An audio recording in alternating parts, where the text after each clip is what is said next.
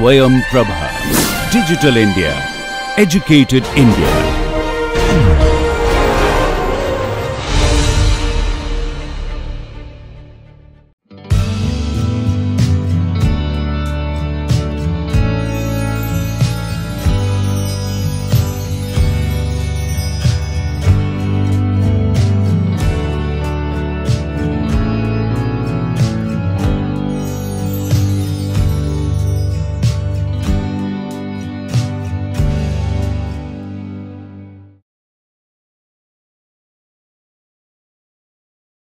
Morning. Welcome to the next uh, session of uh, the Introduction to Modern Indian Theatre.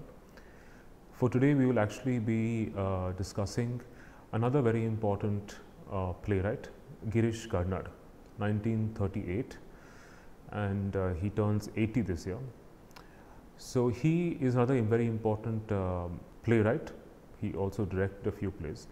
Um, of his own plays and he's also very important because like many of his other contemporaries uh, including Badal Sarkar from Bengali, uh, Ebrahim Alkazi um, and uh, so on and so forth, B.V. Karanth, Alyque Padamsee. So he belonged to the first uh, generation of playwrights post independence and many of his plays as he himself puts it had to do with the return to the cultural roots of theatre. They had to um, engage with this very complex negotiation between colonial forms of theatre and uh, indigenous folk traditions. So, in many of his plays, Girish Karnad is trying to grapple with this dilemma that many playwrights of his generation had, which was that what do we do with the colonial legacy of theatre and to what extent can there be a conversation between colonial forms of theatre and uh, indigenous uh, theatre traditions. So, as a playwright, as a dramatist, um, he drew a lot from local folk traditions, folk forms like the tamasha, the nautanki, as well as the yakshagana uh, tradition of performance, which was prevalent in the uh, border regions of Maharashtra and uh, Karnataka. He was himself born in uh, Matheran, Bombay in 1938, which was then part of the Bombay presidency. But um, even though he studied Marathi in school, it was Airoli Kannada that was his major language of expression. Uh, some of his plays, uh, especially the, the ones on uh, The Dream of Tipu Sultan, were written in English, but most of his plays were written in Kannada and then translated by him and by others into English. So, he is important in some sense as one of those early figures, playwrights who um, belonged to uh, the theatre of roots movement. Um, he may not entirely identify with the movement himself, but there are elements in his plays that suggest that he um, wished to draw from or incorporate uh, certain elements of folk tradition or folk forms uh, in his own theatre uh, to very often introduce multiple uh, frameworks of theatre, multiple uh, narrative frameworks and uh, also in order to parody ironize uh, certain uh, ideals like uh, motherhood, like chastity, like fidelity, you know, like, um, you know, all these issues were in some sense parodied and ironized in his plays. So, uh, for instance, uh, if you look at his play on uh, Tughlaq, right, which was written and published in 1964, again he draws on the idealist 14th century Sultan of Delhi, Muhammad bin Tughlaq, right? And that in some sense is also given a modernist twist. Uh, so it's interesting to see how he draws from older historical figures and recasts them in a modernist idiom to talk about the idealism and the disillusionment of the Nehruvian era uh, post independence.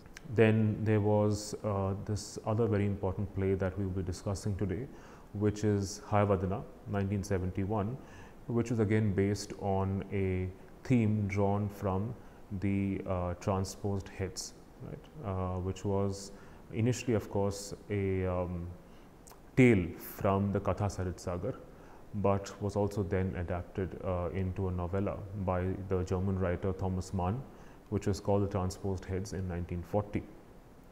So, it was drew originally from the 11th century Sanskrit text Katha Sarit Sagar.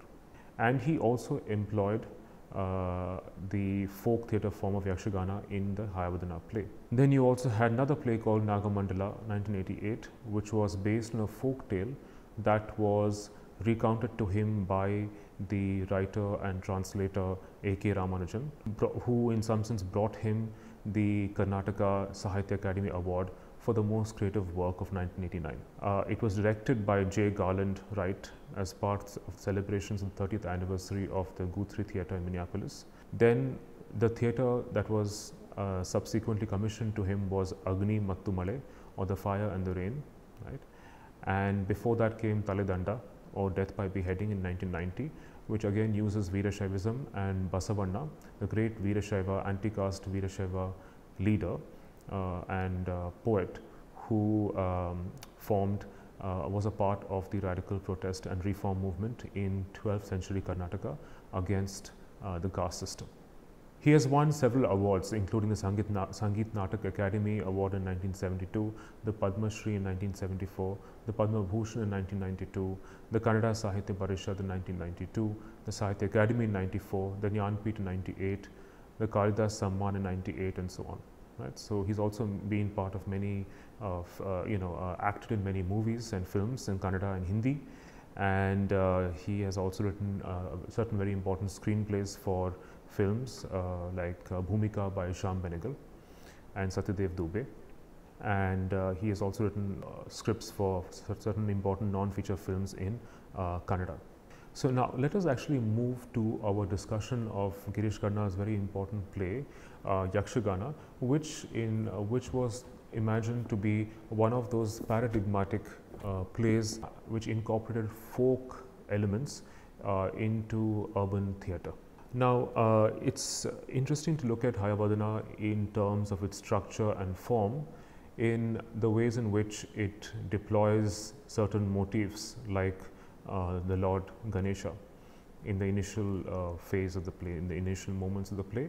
Uh, it's also framed by uh, the, a female chorus. You also have two anonymous actors. You have the Bhagavata who performs the role of the Sutradhar in uh, Girish Karnad's play Hayavadana.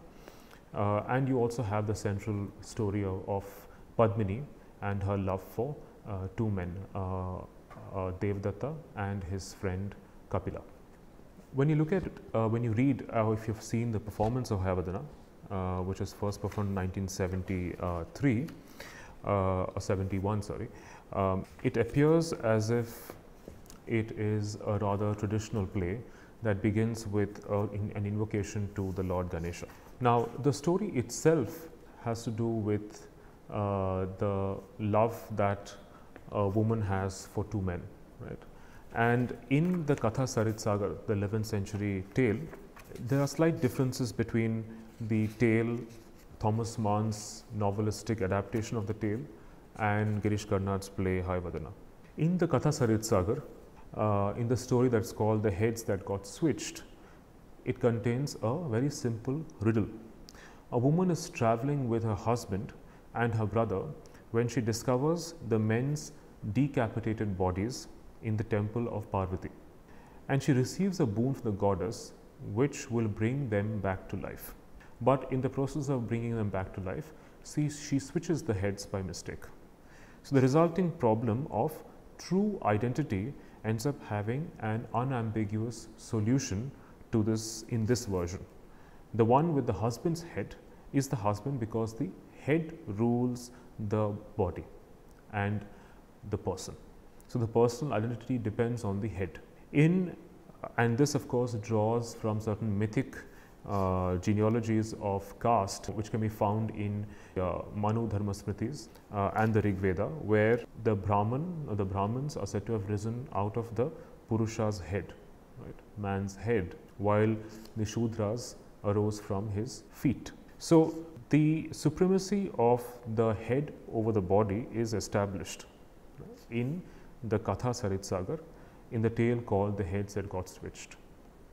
In Thomas Mann's uh, elaboration of the story in his novella, The Transposed Heads in 1940, again there is there are three characters. The female protagonist Sita, ironically named Sita, is married to Sri Daman, who is a very intelligent, intellectual, uh, aesthetic, aesthetic uh, and sensitive man. But she also feels an intense physical attraction for Nanda, who is Sri Daman's friend, who is an emotionally crude and uh, strong man right, with a very fine physique. In the Thomas Mann version, the, uh, the husband, right, Sri Daman, uh, beheads himself in, the Par- in Parvati's temple out of jealousy and despair because he realizes that his wife is actually deeply in love with uh, his friend. And the friend, out of guilt and fear, again uh, beheads himself when he discovers his friend's decapitated body and the pregnant wife, uh, Sita, who is pregnant, prepares to die in order to avoid um, uh, ignominy, dishonor for herself and for the child. After the accident of the transposition of the heads, uh, a holy ascetic uh, grants Sita the new Sridaman by using the same logic that appears in the folk tale. Right? But in Mann's text, the supremacy of the head is sustained and challenged beyond the point of crisis.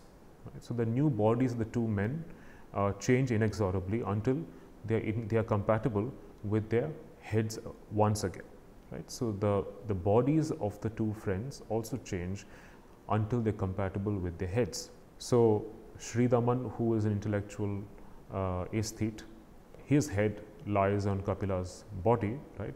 Uh, sorry on um, uh, in this case on Nanda's body and uh, Nanda's body soon loses its uh, athleticism, its physique and becomes soft while uh, the reverse happens with Nanda's head which is on Sri Daman's delicate body which acquires musculature over time. So, the new bodies of the two men they change irreversibly until they are compatible with the heads once again, but the original bodies also exert their own subversive power and change the heads indefinably. So, Sita to whom the man with the husband head and friend body has given has given the full enjoyment of, of the pleasures of sensual pleasure, for a time finds herself yearning once again for the, the, friend who has Nanda's head and Sri Daman's body. And eventually, by the end of the novella, Sri Daman and Nanda kill each other in the forest, and Sita commits sati on the funeral pyre, leaving her four year old son behind to keep alive the memory of the strange sacrifice. Right? So, this is what happens in Thomas Mann's uh, adaptation of the heads that got switched, a folk tale from the Katha Sarit Sagar. In uh, Karnad's play, you have uh, certain additional elements, uh, certain additional frames to the play, which uh, also de-orientalizes uh, Thomas Mann's version of uh, the heads that got switched. Right? Because in the heads that got in in the transposed heads, there is a certain fascination with sati as an Oriental practice that testifies to the uh, wife's fidelity to her husband. So, she punishes herself for actually uh, betraying her desire for another man, her husband's friend. In the Karnad play on Hayavadana, there is this additional element where you have the Bhagavata who is the narrator. Right? He's the narrator, he is the sutradhar of the play, he is resonates with some of the folk uh, sutradhars of folk plays who, uh, whose role is to very often step in, intervene in the action, uh, engage in a question and answer session with the characters who appear on stage. Right? And uh, in the production of Girish Karnad's Hayavadana, uh, masks were also used as um, you know, uh, which were actually drawn from certain folk traditions of theatre, uh, Yakshagana and others, where masks were used. So, you have for example, Hayavadana himself, the main character, the eponymous character of the play, Hayavadana, who is a horse headed uh, man. Right? So, he has the body of a human being, but he has the head of a horse and he interrupts the story of the woman who fell in love with two men, right? And in this case, the names are Padmini, and her husband is called Devadatta, and his friend is called Kapila. So you have Kapila, you have Devadatta, and you have Padmini. And the main story, the main plot of Padmini's love for these two men is interrupted early in the play by Hayavadana and his own story, his own past. And you also have an anonymous actor you also have a female chorus that constantly anticipates uh, the action of the play and uh, very often comments on it in a tragic fashion. And you also have the use of three dolls uh, in the actual uh, production, the first production of the play in 1973 and when the play was remounted in 1989. Uh, small children played the role of these dolls uh, and these dolls also wore masks. And the purpose of these dolls was to actually um, externalize uh, the illicit desires and thoughts of Padmini as she's sleeping uh, when she begins to fantasize about uh, Kapila after the transposition. Right? So, you have all these additional folk uh, elements that adds to the complexity, the layered complexity of the play. So, in uh, the Hayavadana, the play itself was, was performed initially in 1971 as a poster play for the emerging roots movement. It was uh, seen to be a new dramatic form which successfully incorporated folk elements into a modern urban theatre in an urban setting. Uh, in the 1972 uh, production by B.V. Karanth, there was the uh, use of uh, certain uh, traditional performance elements from Yakshagana, which is a well-known genre of dance drama performed in Karnataka.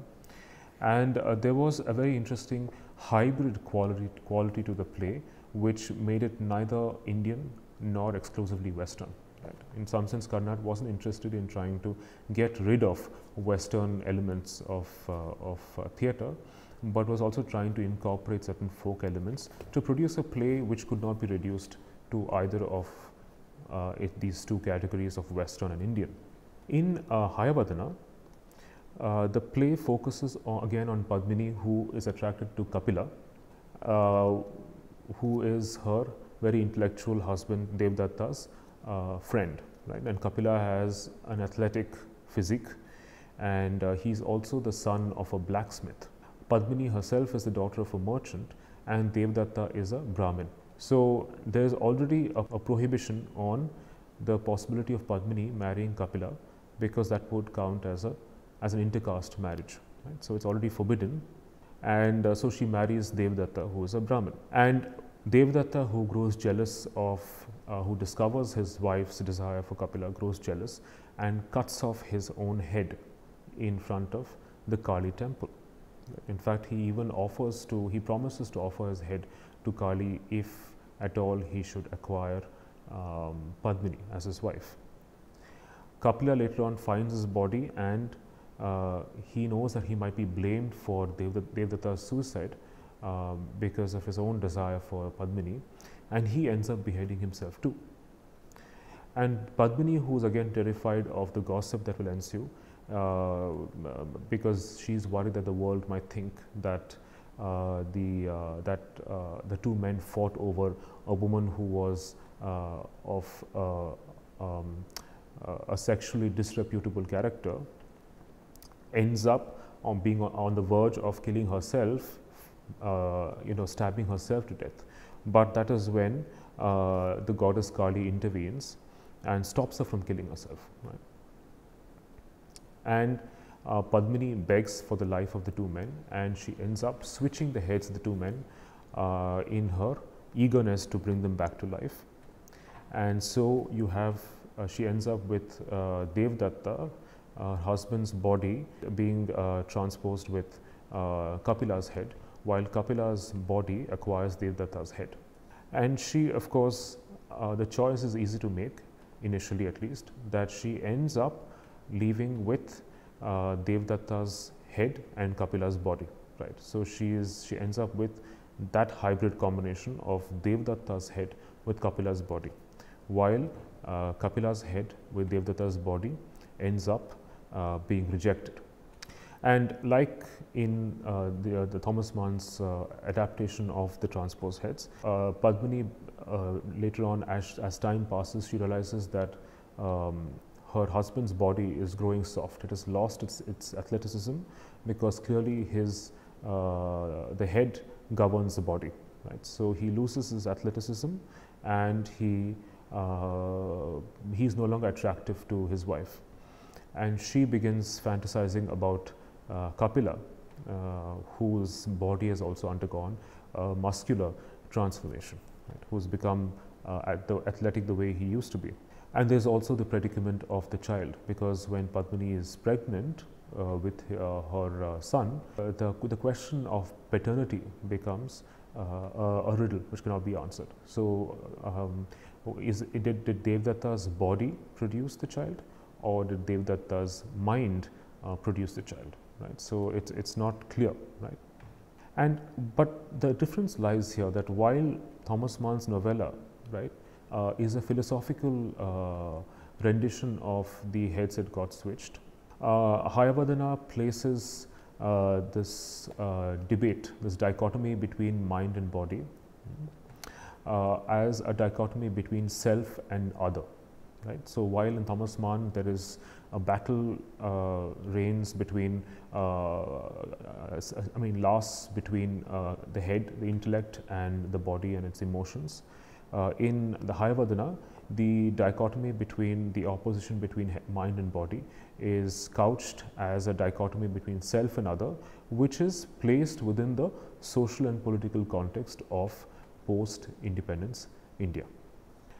So, the Bhagavata, who is the uh, Sutradhar of the play, the narrator or singer, uh, as he's about to introduce Padmini's story, he is interrupted by an actor who runs on stage yelling that he has just seen a talking horse, right? and no one believes it.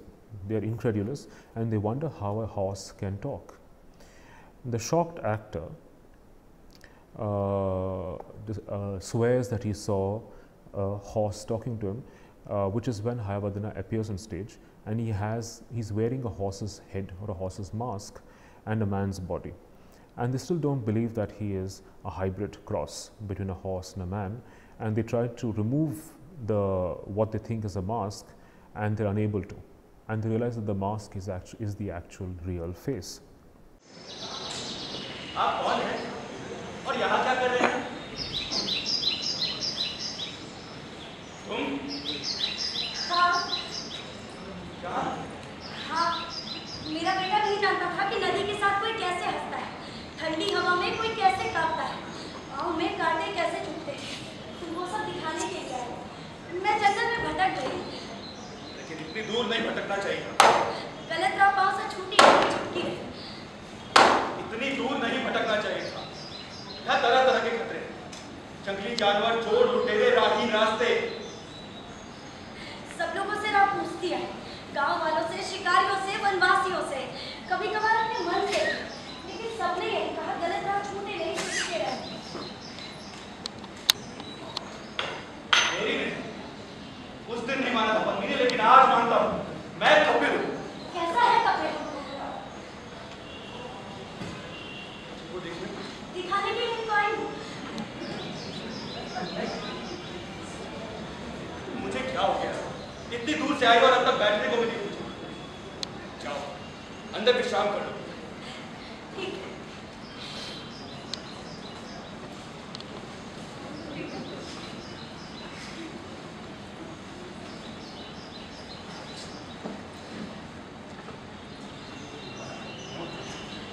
विश्राम नहीं करूँगी नहीं ज़रूरत नहीं कैसी हो अच्छी हूँ रोग ताप चिंता कष्ट कुछ नहीं विरक्ति हो गई है इसे इतना क्यों सताया जब ये शरीर तुम्हें मिला था तो कितना कोमल था किसी राजकुमार के शरीर की तरह ये बाकी कितनी पतली और कोमल थी।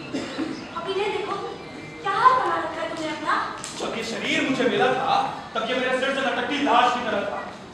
ब्राह्मण की उजली दुर्बल काया जंगलों के लिए नहीं बनी। दौड़ता तो घुटने दुखने लगते कुल्हाड़ी चलाता तो हाथ थक जाते। ये शरीर मेरे किसी काम का न था। दिन ये शरीर मुझे मिला उसी दिन मेरे और इसके बीच युद्ध छिड़ गया। कौन जीता? मैं। हमेशा मस्तक ही जीतता है ना? हाँ पद्मिनी अब इसे भाग्य समझो। जब कोसों दौड़ सकता हूँ। बरसाती बाढ़ में भी कूद कर तैर सकता हूँ। बड़े से बड़ा पेड़ गिरा सकता हूँ। पहले पेड़ साथ नहीं देता था मगर अब जो भी मिले पचा लेता हूँ। ना मिले तो भी रोता नहीं। क्या हमेशा मस्तक ही जीता करेगा? इसलिए मैं कपिल हूँ। ऐसा कपिल जिसका शरीर उसके मस्तक से मेल खाता है। कपिल देवदत्त कपिल देही देवदत्त। देवदत्त शरीरी कपिल जन्म एक पुरुष चाह। तुम उसे क्यों छोड़ आई? तुम्हें कैसे समझाऊं? तुम यहाँ क्यों आई? तुम्हें देखने क्यों? जब मैं अपने आप से जूझते जूझते ये समझ बैठा था कि मैं जीत गया हूँ तब तुम क्यों यहाँ आई जब मैं जैसे तैसे करके उन यादों को मिटा सका था तो क्यों तुमने मेरा पीछा किया? मैं कपिल हूँ जंगली बेरहम कपिल अपना चाल यहाँ लगा चली जाओ देवता के पास। वही तुम्हारा पति है इस बच्चे का बाप। देवदत्त और पद्मिनी देवदत्त और पद्मिनी अग्नि की साक्षी से बंधी जोड़ी जहाँ मेरी कोई जगह नहीं कोई शांति नहीं कोई मुक्ति नहीं। मैं कहता हूँ चलो से! जाती हूँ। तुम कहते हो तो जाती हूँ। हे ईश्वर। क्या हुआ? और एक याद। क्या थका हुआ है? सोया है बेचारा। उसे थोड़ी देर सोने दो। उसके जागते ही चली जाऊँगी तुम जीत गए कपिल देवदत्त भी जीत गया। लेकिन मैं दो शरीरों की अरदास में नहीं, मेरे लिए ना जीत है, ना हार। नहीं नहीं नहीं कपिल कुछ मत कहो। मैं जानती हूँ क्या कहोगे। मैं तुमसे हज़ार बार कह चुकी भूल मेरी ही थी, मैंने ही हाँ हाँ सरों की अदला बदली मैंने ही इसका मतलब मुझे भुगतना है मैं ही भुगतूँ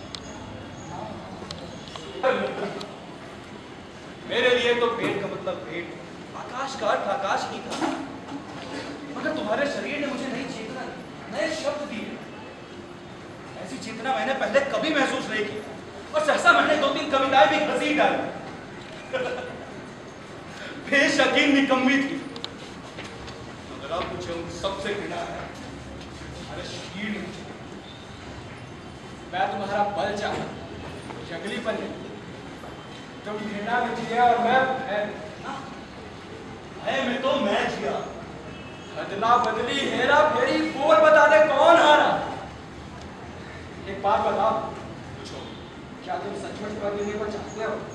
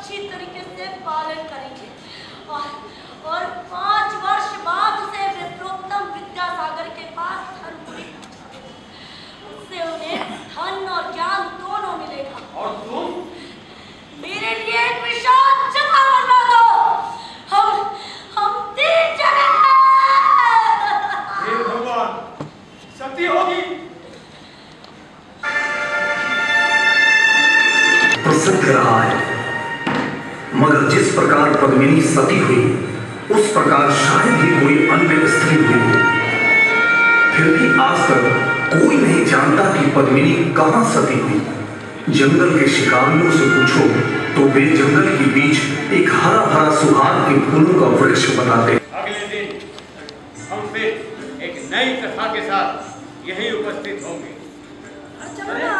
नट। तुम लोग? नट। है वज़न कहाँ है? तुम लोग के साथ गया था है वज़न हम जैसे ही चित्रकूट पहुँचे हवदन ने हमें भगा दिया। वहाँ ठहरने नहीं दिया। बेचारे माँ काली उस पर प्रसन्न ये बच्चा कौन? ओह ये। बता बेटा तू कौन है? तुम कौन हो बेटे? तुम्हारा नाम क्या है? तुम्हारे माँ बाप कहाँ के ना हंसता है ना बोलता?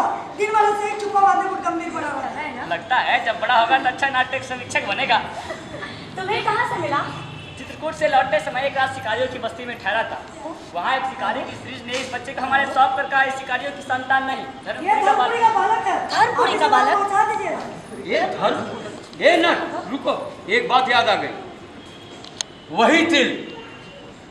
ये हो ना हो ये पद्मिनी का बच्चा है। पद्मिनी कौन हाँ पद्मिनी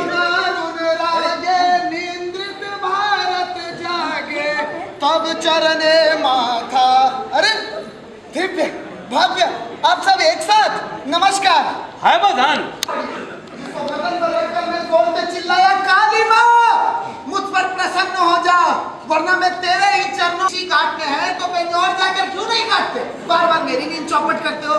मैंने तुरंत देवी के चरण पकड़े और बोला माँ माँ मुझे पूर्णांग बना दे माँ। देवी बोली तथास्तु। और अभी मैं कह भी ना पाया था कि माँ मुझे पूरा मनुष्य बना दे। देवी बड़ी जमाई के साथ अंतर ध्यान हो गई।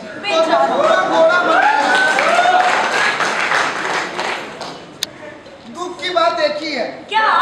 अरे घोड़ा तो हूँ पर अभी भी पूर्णांग नहीं हूँ।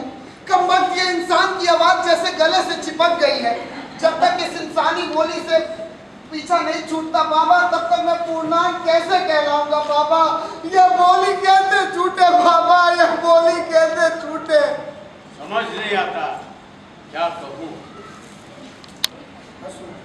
बच्चा ठीक है रोने से गला नहीं फट जाएगा। हंसू नहीं बच्चे हुक्म पर हँसी नहीं आती बड़ी मुश्किल है बैठ जाओ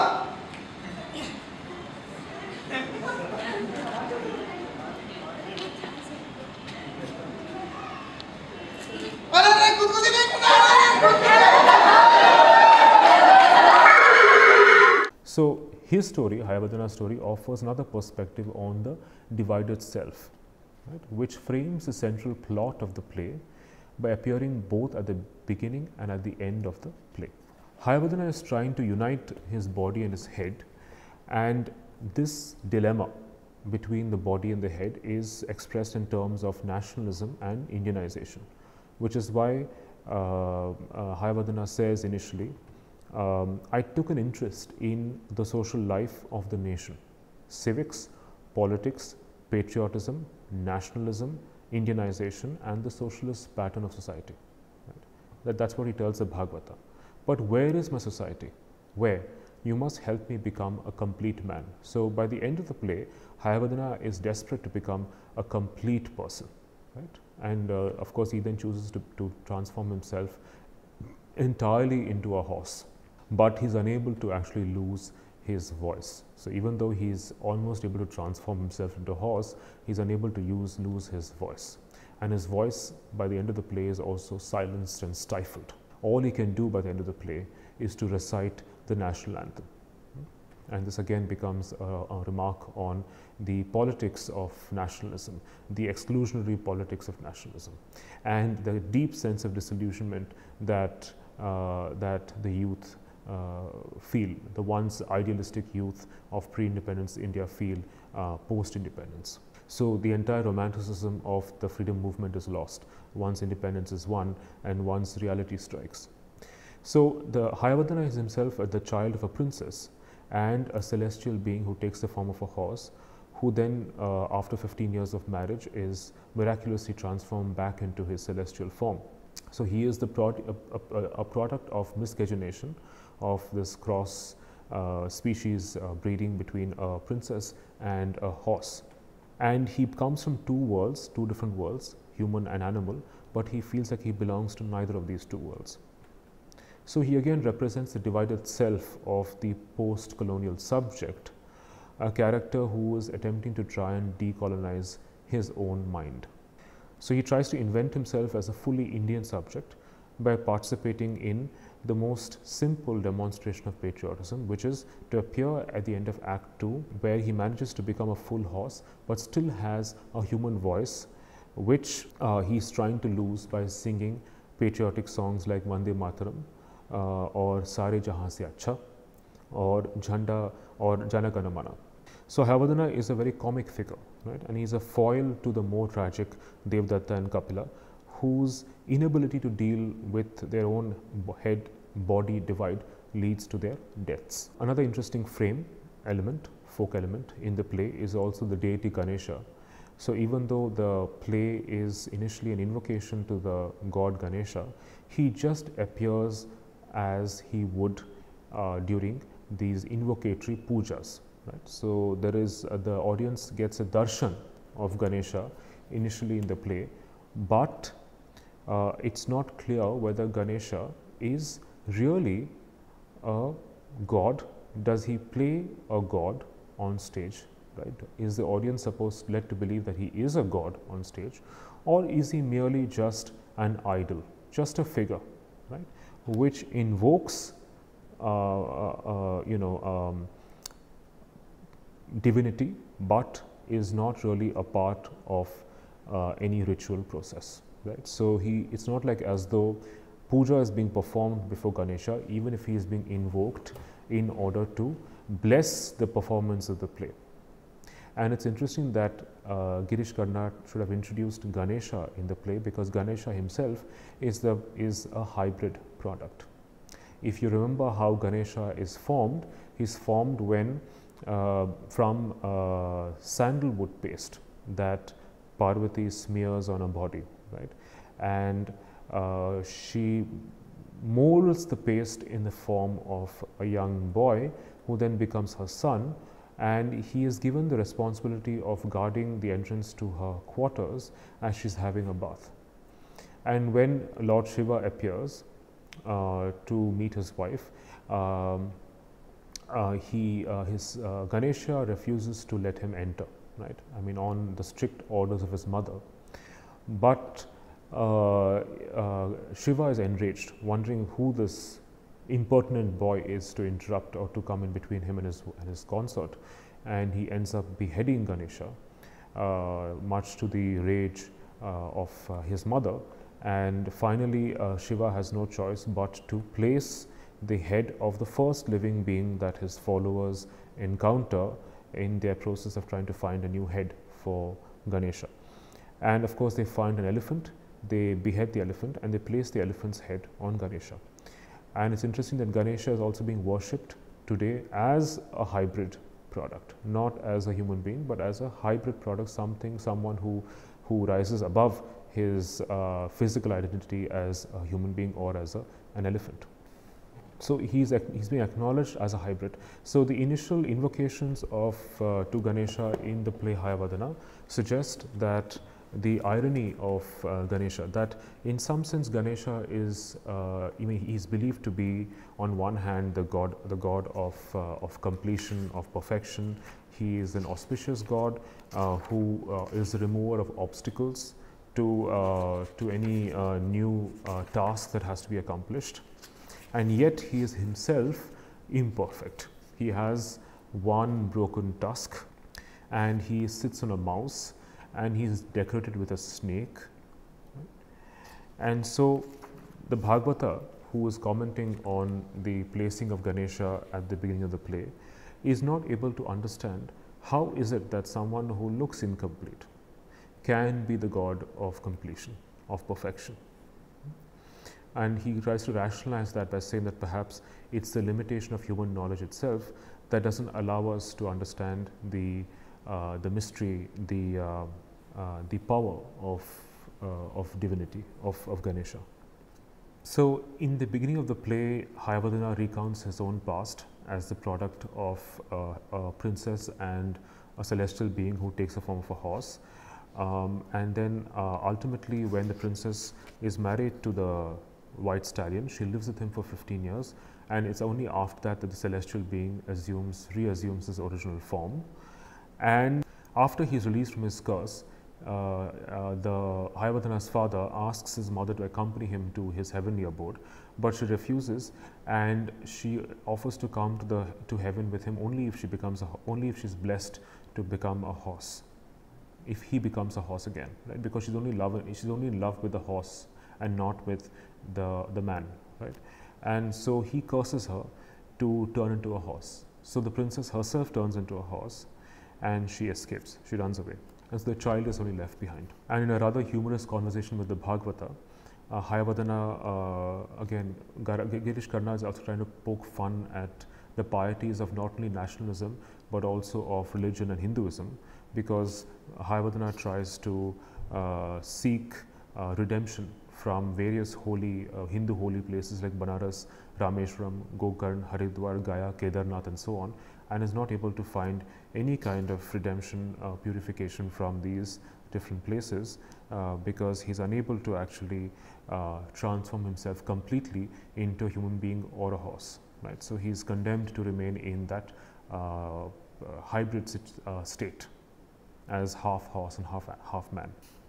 Then the play recounts the story of Padmini and her love for the two men and how in her love for the two men she accidentally uh, ends up transposing the heads of Kapila and Devdatta. Right? So, unlike many of the urban realist plays that we see in uh, uh, you know Elkunchwar, Mahesh Elkunchwar or uh, others, um, here Vijay, Vijay Tendulkar for example, here um, because Karnad employs uh, many folk elements, there is the possibility of making fun of or parodying uh, certain uh, pieties, certain social and sexual norms like motherhood and uh, female chastity. Right. So, the supposedly accidental transposing of the heads of the two men would suggest that uh, Padmini, the woman here, uh, desires both. Right. So, it's, um, it, it's the, the, the, the, her desire for the two men is also left rather clear and ambiguous. It's betrayed, uh, it's suggested in a, later in the sec first and second act when the two, when the three dolls end up externalizing Padmini's own sexual fantasies and thoughts and her longing for uh, Kapila. The female chorus also anticipates the illicit desi desire that Padmini has for Kapila. So uh, the female chorus sings, um, Why should love stick to the sap of a single body? When the stem is drunk with the thick yearning of the many petaled, many flowered lantana, why should it be tied down to the relation of a single flower? And later on, the female chorus again sings, a head for each breast, a pupil for each eye, a side for each arm. I have neither regret nor shame. The blood pours into the earth and a song branches out in the sky. Again, anticipating uh, Padmini's illicit desire for Kapila and the dilemma that she faces as a married woman who desires another man. So, later on in the play, when Devdatta recounts his encounter with this gorgeous woman called Padmini, he is unable to describe his beauty except in very conventional metaphors uh, drawn from Sanskrit uh, erotic literature and poetry. Uh, com often com compares her to a lotus. Uh, of course, the Karnad is also trying to make fun of this, this the conventions of Sanskrit uh, poet poetry when uh, Kapila is uh, echoes and repeats and, uh, and you know anticipates Devdatta's similes and metaphors to describe uh, Padmini's beauty. So, for example, he says Devdatta is known to be a poet, to be an aesthete, but then clearly it's his poetry is not authentic or original. He seems to be uh, Uh, imitating uh, earlier classical poetry. How can I describe her? Devdatta says to Kapila, her forelocks rival the bees. Her face is, and this is all very familiar to Kapila, and he joins in with great, with great enjoyment. They both repeat together, is a white lotus. Her beauty is as the magic lake. Her arms the lotus creepers. Her breasts are golden urns, and her waist, and so on and so forth. Devdatta is desperate to identify and find Padmini and ask for her hand, but he's, he doesn't know how to do it. He doesn't know how to identify her. He doesn't have the courage to find her.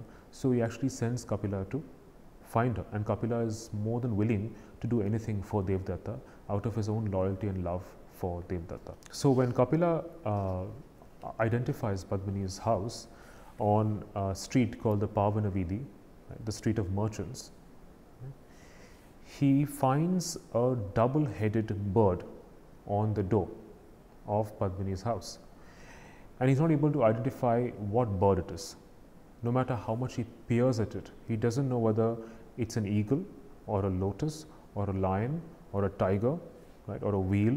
He is completely perplexed by the shape and form of the knob on the door. Padmini enters and what ensues is a rather funny conversation that is resonates with certain Nautanki traditions or where uh, the woman in the Nautanki play is outwitted. But here it's slightly different because you have a similar uh, fast exchange between Kapila and Padmini, but here Padmini uh, proves to be a very witty woman, unlike her rather uh, unoriginal and uh, husband Devdatta. So when Kapila first sees Padmini, he falls in love with her beauty, and he says, um, "I give up Devdatta." This is he's talking to himself. I surrender to your judgment. I hadn't thought anyone could be more beautiful than the wench Ragini who acts Rambha in our village troupe. But this one, you're right, she is Yakshini, Shakuntala, Urvashi, Indumati all rolled into one. Padmini says, You knocked, didn't you? Kapila, um, Yes. Padmini, then why are you gaping at me? What do you want? Kapila, I, I just want to know whose house this was. Padmini, whose house do you want? Kapila, this one. Padmini, I see. Then who do you want here? Kapila, the master. Padmini, do you know his name? Kapila, no. Padmini, have you met him? Kapila, no. Padmini, have you seen him? Kapila, no. And this is an interesting reversal of what actually happens in the Nautanki where it's the woman who's constantly saying no to a man who's not a husband, who is trying to make uh, amorous overtures to her and is trying to make love to her and ends up saying no when she or when she actually means yes or, or, or ends up saying yes when she actually ends up when she actually means no. But so here it's just a, a direct a reversal when to Padmini's questions Kapili of, of uh, Kapila constantly says no, no until he actually means yes. Uh, Padmini, so you haven't met him, seen him or known him. What do you want with him? Kapila, aside to himself, she is quite right. What, what have I to do with him? I only want to find out his name. Padmini, are you sure you want this house or were you Kapila? No, I'm sure this is the one. Padmini, pointing to her head, are you all right here? Kapila, taken aback, yes, I think so. Padmini, how about your eyes? Do they work probably, properly? Kapila, yes. Padmini showing him four fingers, how many? Kapila, four. Padmini, correct. So there's nothing wrong with your eyes. As for the other thing, I'll have to take you on trust. Well then, if you're sure you wanted this house, why were you peering at all those doors? And what were you mumbling under your breath? Right? So, and finally, of course, Kapila, uh, Kapila has no choice but to tell him that he is here on behalf of his friend Devdatta, which is when Padmini uh, discovers the real reason for why he is here and she runs away bashfully because she realizes that he has come on behalf of his, friend to ask for a hand in marriage. The Bhagavata as the Sutradhara of the play always appears at moments in the play when it's not possible for the characters themselves to express or speak. So, there's a point when after the match has been made between Padmini and uh, Devdatta, the Bhagavata steps in to say that this could only have been the most logical and natural conclusion, right? Because this is the only way in which a marriage could have been possible because Padmini could never have been, never have married Kapila who was the son of a blacksmith. Right? So, uh, a, a, legitimate union would be between Padmini, the daughter of a merchant, and uh, Devdatta, who is a Brahmin. Need one explain to a wise and knowing audience what followed next? Padmini is the daughter of the leading merchant in Dharmapura. In her house, the very floor is swept by the goddess of wealth. In Devdatta's house, they have the goddess of learning a maid. What could then possibly stand in the way of bringing the families together? Padmini became the better half of Devdatta and settled in his house. Nor did Devdatta forget his debt to Kapila. The old friendship flourished as before. Devdatta, Padmini, Kapila, to the admiring citizens of Dharmapura, Rama, Sita, and Lakshmana. Right? So it seems as though Kapila has been reduced to the status of a brother in law. Then they decide to go on a trip to the Kali temple, but Devdatta is very reluctant to uh, go on a trip with Kapila because he's not he's unable to find any time alone with his wife because Kapila is always with them. He's always intervening, he's always interrupting, he always wants their company. So he's trying to get rid of Kapila despite the fact that he loves Kapila as his own friend. And at this point in the play, Padmini is already pregnant, right, expecting their first child. So they decide to go to the Ujjain fair on a bullock cart. And on the way, they stop at a temple. The road, the journey to the uh, fair is on a very uh, bad road. Right? There are lots of potholes and rocks. And uh, they have to stop because Padmini is pregnant and they're worried about her health and the health of the child. And they stop in front of a temple. On the journey, Padmini uh, admires uh, Devdatta as he uh, rides the cart. He also looks at, she also admires his muscles, uh, much to Devdatta's own jealousy. Uh, when, he, when she asks him to bring her a flower that they discover on the way. It's called the Fortunate Lady's Flower. It's a beautiful flower that Padmini wants, and she asks um, Kapila to climb the tree and bring her those flowers. And that is when she ends up admiring his physique. And Devdatta, who was jealous at the sight of her, his wife's desire for Kapila, uh, decides to um, give up his life. Now, it seems as though uh, Devdatta wants to give up his life because he had promised to offer his head uh, to the goddess Kali if ever Padmini were to become his wife. But it also becomes clear that it's, it's being done out of sheer insecurity and jealousy. So he says to addressing uh, the goddess, he says that give me strength. In fact, it's, it's, uh, it's, a, it's a temple to uh, goddess Kali and he's, he prostrates himself before the goddess and he says, Bhavani Bhairavi, Kali, Durga, Mahamaya, mother of all nature, I had forgotten my promise to you. Forgive me, mother. You fulfill the deepest craving of my life. You gave me Padmini, and I forgot my word. Forgive me, for I am here now to carry out my promise. So, all the characters seem to, in some sense, uh, conceal their true intentions for what they do, and what and the, and what they apparently seem to be doing, what they apparently seem to be saying or claiming, does not match with their own unconscious, secret insecurities and jealousies and desires. Great indeed is your mercy. Even in this lonely place, some devotee of yours, a hunter, a hunter perhaps, or a tribesman, has left this weapon. Who knows how many lives this weapon has sacrificed to you? And so, saying that, he beheads himself with a sword. And uh, Padmini and Kapila are waiting for him, and after a while, they, they begin to wonder where he is. And, they, and uh, she sends Kapila to go in search of him, and Kapila goes. And when he discovers that, uh, that uh, his friend has beheaded himself, he is uh, very, very upset and, and laments the loss of his dear friend.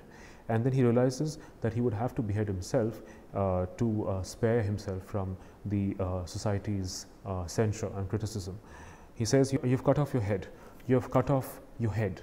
Oh, my dear friend, my dear brother, what have you done? Were you so angry with me? Did you feel such contempt for me, such abhorrence? And in your anger, you forgot that I was ready to die for you? So I think Kapila already knows that perhaps Devdatta was resentful of uh, and jealous of the fact that uh, his wife desired Kapila more than him. And in your anger, you forgot that I was ready to die for you. If you had asked me to jump into fire, I would have done it. If you had asked me to leave the country, I would have done it. If you had asked me to go and drown in a river, I would have accepted. Did you despise me so much that you couldn't ask me that? I did wrong, but you know, I don't have the intelligence to know what else I should have done. I couldn't think, and so you have pushed me away. No, Devdatta, I can't live without you. I can't breathe without you. Devdatta, my brother, my guru, my friend, you spurned me in this world. Accept me as your brother, at least in the next. Here, friend, here I come. As always, I follow in your steps, footsteps. And he cuts off his head. Now, meanwhile, Padmini is again wondering what happened to, to Kapila too. She goes in search of the two men, and by which time it is dark, and she's unable to see clearly, and she stumbles on the two bodies. And she again is lamentful of the two bodies that she see, and she doesn't have the courage to behead herself, but she tries to stab herself when the goddess Kali interrupts. Now, the voice of Kali is not the voice of uh, Hinduism, right? Uh, it's, it's not as though Kali is again being represented as uh, a figure of piety.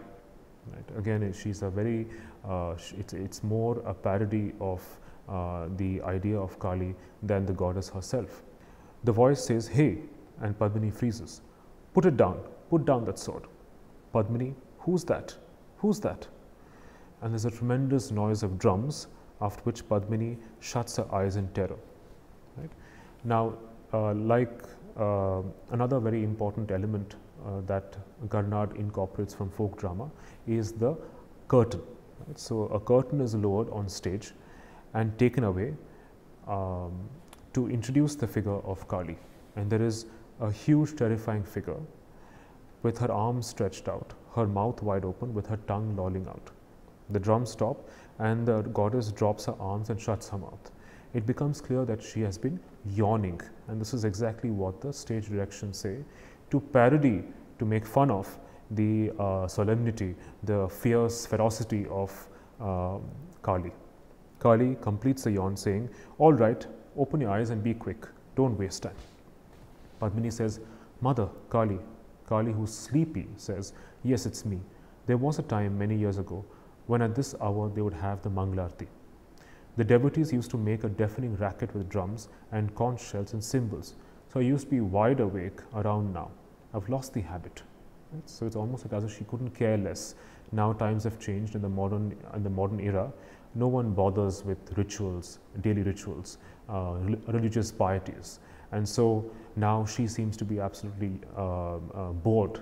Uh, it's almost like a, a very secularized uh, version of the goddess, uh, making fun of uh, of Hindu piety and piety itself. Um, Save me, mother, Padmini says. Kali says, I know, I've done that already. And Padmini wonders why the goddess did not prevent the killings of the suicides of the two men, right? Why didn't she stop them? And Kali says, um, put these heads back on, and once they're attached properly, they will come back to life. And of course, Padmini betrays her desire for the two men, and in the excitement of bringing them back to life, ends up transposing the two heads. And when Padmini wonders why Kali did not stop the two beheadings, Kali says, The rascals, they were lying to their last breaths. Again, Kali's voice is there to actually expose the hypocrisy, the pretense of these two men who pretend to make uh, these large uh, claims of piety and sacrifice, but um, actually end up uh, uh, revealing how insecure they were over their desire and love for Padmini. The rascals, they were lying to their last breaths. That fellow Devdatta, he had once promised his head to Rudra and his arms to me. Think of it, head to him and arms to me.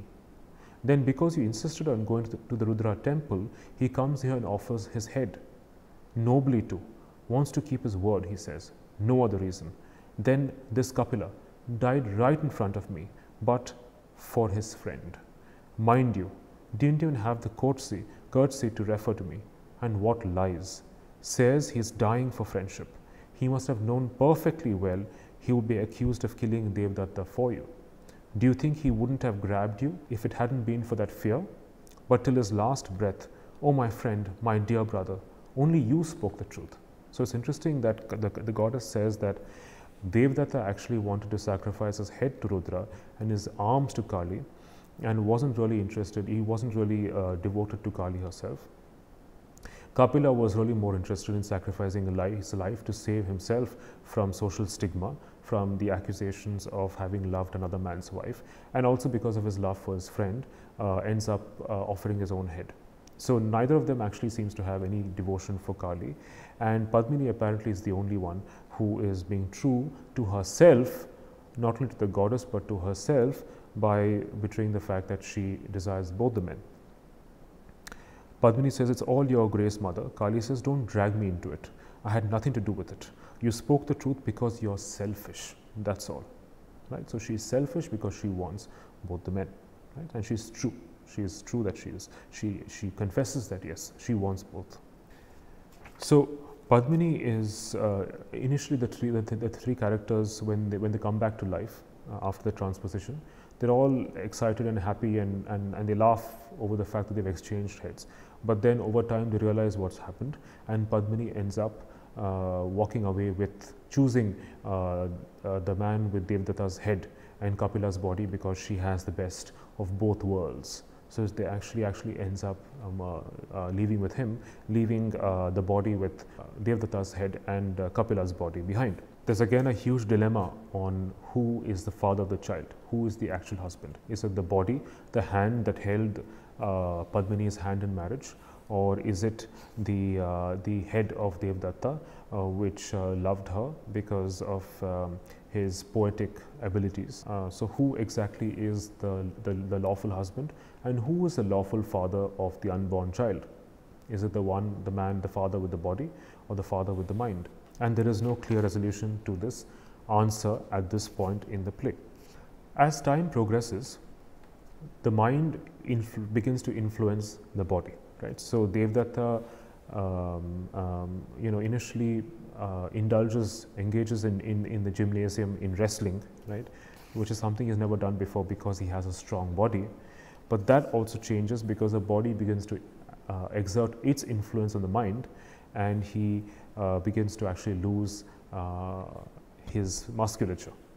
You also see a transformation in Padmini's desire for Devdatta because Padmini begins to miss uh, the uh, manly masculine scent of his body as in Kapila's body, but then uh, Devdatta has been using he claims that he's been using sandal oil since he was a child and Padmini says um, I don't mean that your body had that strong male smell before and I liked it but when we came back from the temple of Kali, you used to smell so manly. So why have you basically started applying sandal oil when I missed that unwashed smell, which is the smell that reminds her of Kapila, right? The unwashed, sweaty smell of Kapila. And at this point, you have the three dolls who appear uh, as a way of trying to uh, dramatize the inner desires, the forbidden inner desires of Padmini. So the dolls are uh, in some sense dramatizing these illicit proscribed desire within uh, the head of, of, of married woman. Uh, and they are also very gossipy and judgmental uh, dolls right, who constantly uh, judge uh, Padmini and her son for um, being extremely um, deceptive and manipulative. Not a bad house, I would say, doll 1 not a bad house, I would say. Doll 2 could have been worse. I was a little worried. Doll 1, this is the least we deserved. Actually, we should have got a palace, a real palace. Doll 2, and a prince to play with, a real prince. Doll 1, how the children looked at us at the fair, how their eyes glowed. Doll 2, how their mothers stared at us, how their mouths watered. Doll 2, how their mother stared at us, how their mouths watered. Doll 1, only those beastly men turned up their noses expensive, too expensive. Doll 2, presuming to judge us. Who do they think they are? Doll 1, only a prince would be worthy, worthy of us. Doll 2, we should be dusted every day. Doll 1, dressed in silk. Doll 2, seated on a cushioned shelf. Doll 1, given new clothes every week. Doll 2, if the doll maker had any sense, he'd never have sold us. Doll 1, if he had any brains, he should never have given us to this man doll 2 with his rough laborer's hands, of course, uh, referring to uh, Kapila's hands, which are on Devdatt's uh, body. Then you also have uh, again on uh, page 158 the ways in which the dolls actually echo uh, Padmini's illicit fantasies for Kapila. It says, um, Devdatta goes to doll 1, moves it aside and picks up the book. Doll 1 shudders. Doll 2 asks, why, what happened? Doll 1, he touched me and doll 2, yes, doll 1. His palms, they were so rough once when he first brought us here. like a laborer's, but now they are soft, sickly soft, like a young girl's. So the doll's function is also to register the transformation in the body of Devdatta, who is now losing his rough bruteness and has acquired uh, the soft, effeminate body of an intellectual Brahmin. Doll 2, I know, I've noticed something too. Doll 1, what? Doll 2, his stomach. It was so tight and muscular. Now, doll 1, I know, it's soft and loose. Doll 2, do you think it will swell up too?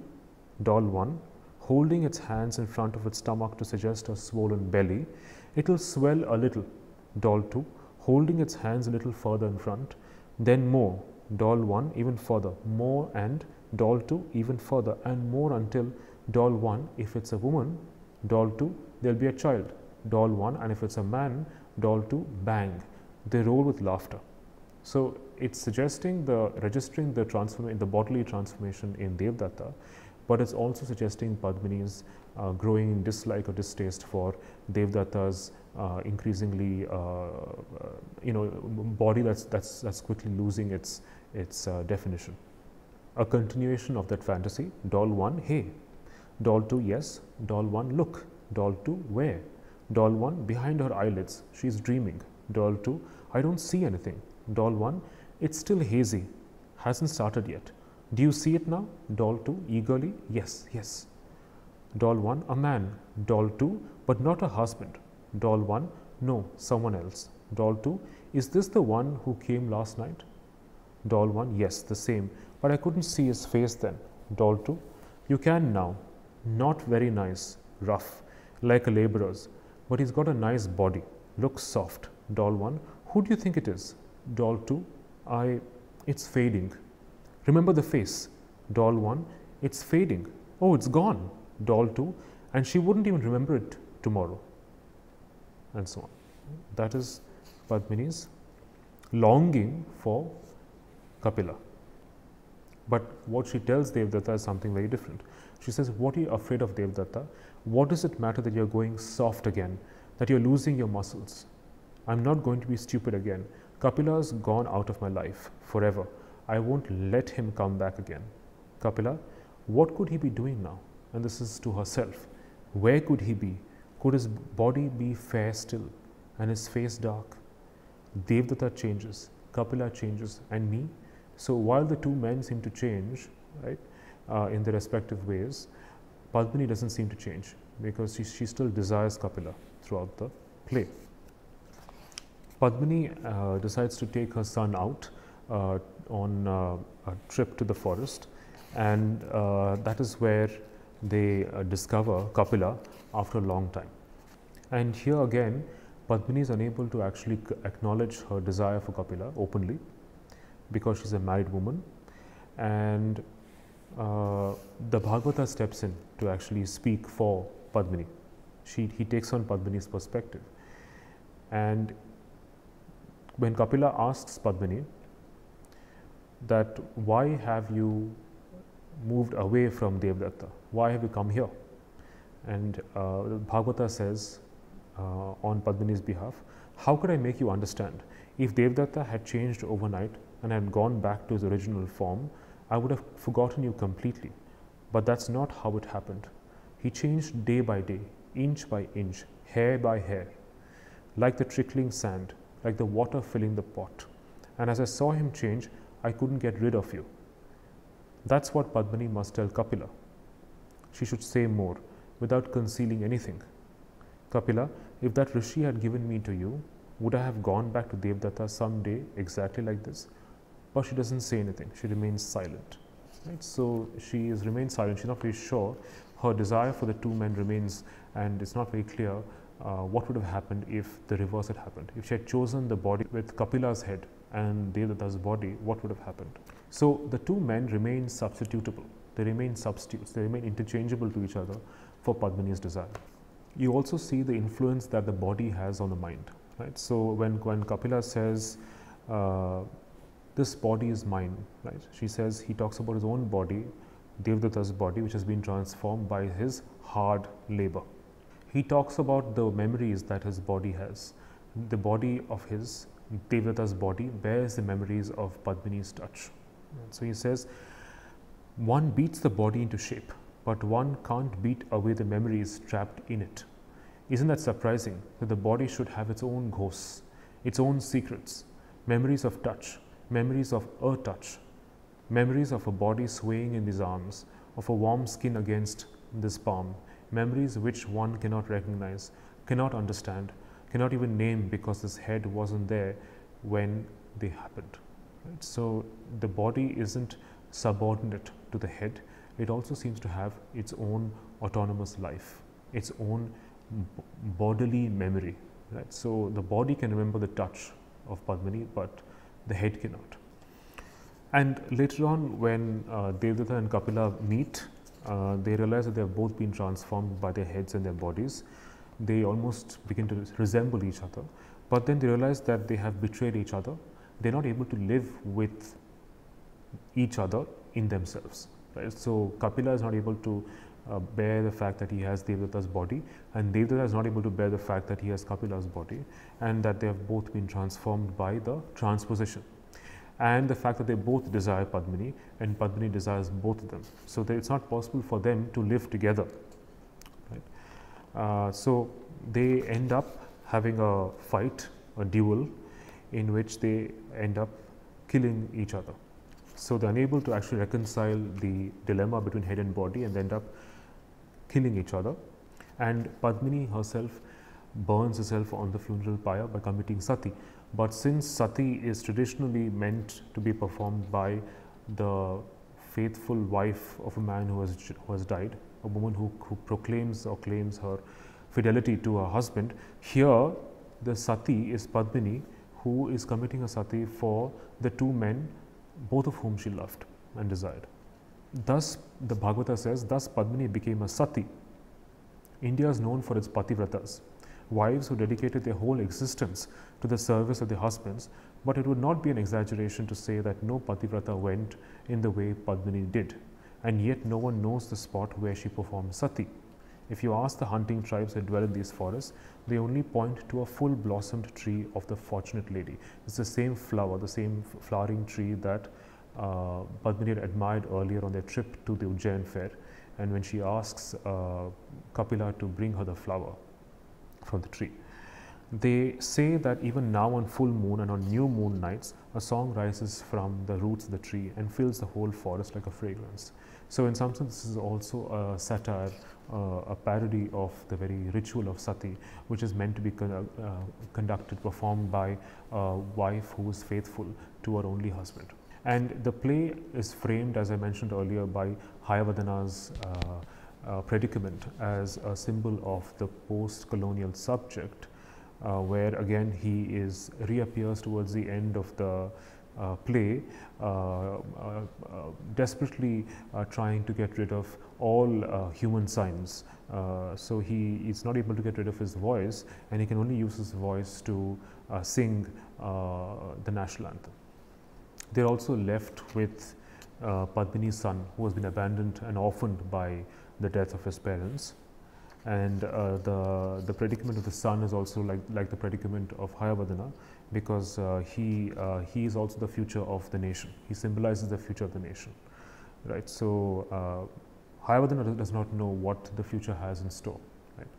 Because he becomes that uh, hybrid post-colonial subject who's disillusioned with the future, right? And has lost the romanticism, the the excitement of the freedom struggle and is the leg legatee of a hybrid legacy right, of the colonial and the indigenous. Right. So, he says that he had actually begged a goddess to make him complete and the goddess appeared very prompt and looked rather put out. She said rather peevishly I thought, why don't you people go somewhere else if you want to chop off your stupid heads? Why do you want to come to me? I fell at her feet and said, Mother, make me complete. She said, so be it and disappeared. And so that's the, the goddess Kali makes Hayavadana uh, into a horse, but a horse with a human voice that is condemned to chant or sing only the uh, patriotic songs or the national anthem. Thank you.